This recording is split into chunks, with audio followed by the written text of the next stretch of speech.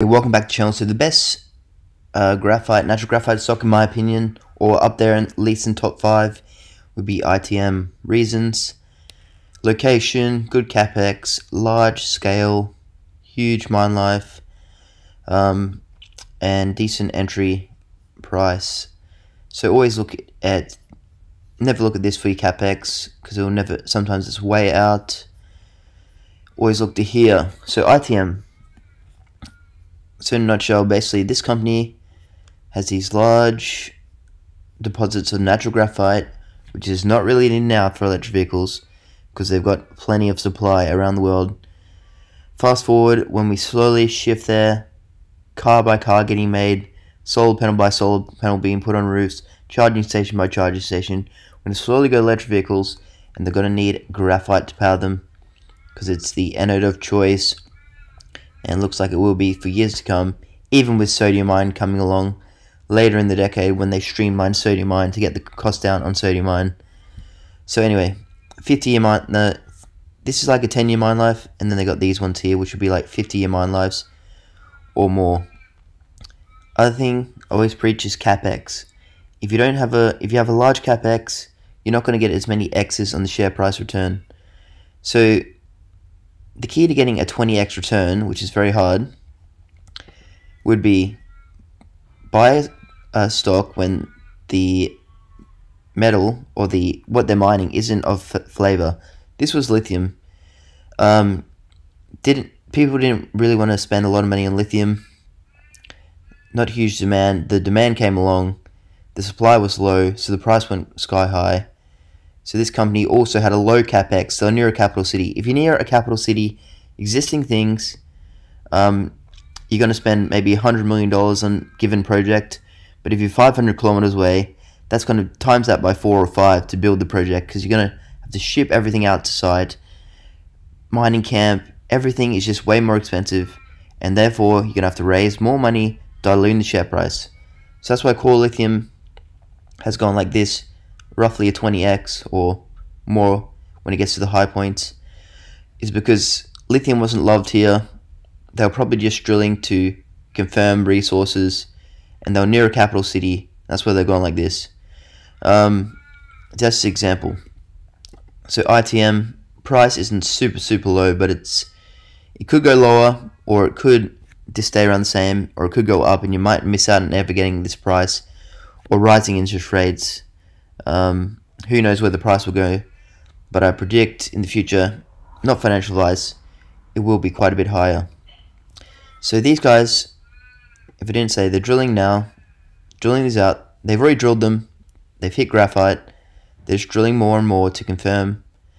Um, and basically, I know they have a low capex because they're right near Renascor, who've already done their studies.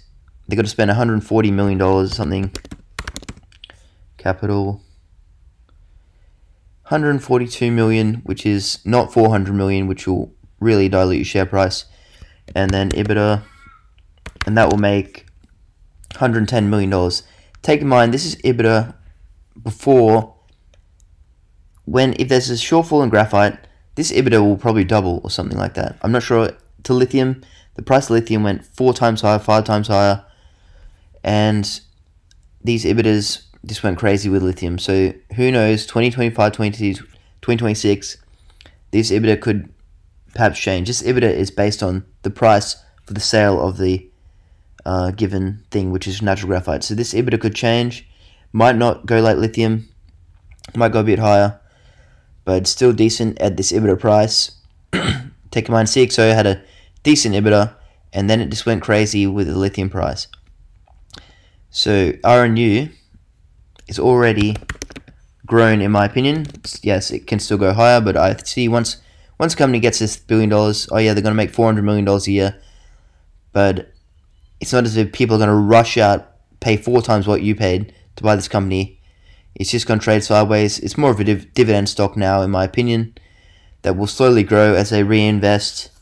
Um, it's either going to pay it out to you in dividend, or they're going to keep the money and reinvest in streamlining their process, getting their price down, buying a new mine. You get the point. But the X's aren't going to go like this, in my opinion, from now on. And I'm pretty sure I'm correct as well. So ITM low 35 million. Uh, let's just go through recent this recent drilling report. So drilling it now. Um, two big projects, two big things as I showed you there. So that's RNU, $700 million company. Uh, something like that, maybe 600 million now. Six, yeah, whatever. Um, I think RNU got a bit of cash as well. So where were we? Back to here, ITM. So it's fair to say they'll have a similar capex to Renascor, meaning low. The mine life, once they drill and confirm these, probably going to be even bigger than Renascor. Could be wrong. I'm not sure. I know Renascor's got like 50 year mine life. But these guys will probably have the same, if not more. So existing power, they don't have to build a diesel power plant. There's South Australia is all on renewables. They can run fully off renewables. They've got battery. Elon Musk has bought his Tesla thing there.